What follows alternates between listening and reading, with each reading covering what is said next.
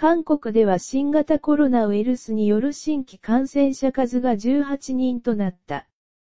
そのうち、海外からの流入事例は9人で、全体の半分を占めている。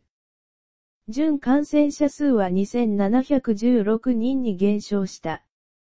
今日韓国の中央貿易対策本部によると、この日の0時基準で準感染者は感知者の増加により2716人に減少した。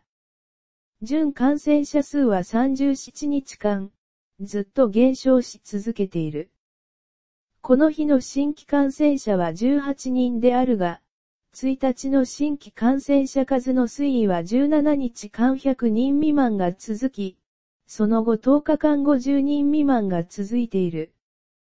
一方、日本の新規感染者が3日連続で500人を超えている。今日にも日本の感染者数は韓国を上回り、日韓逆転が起きると予想されている。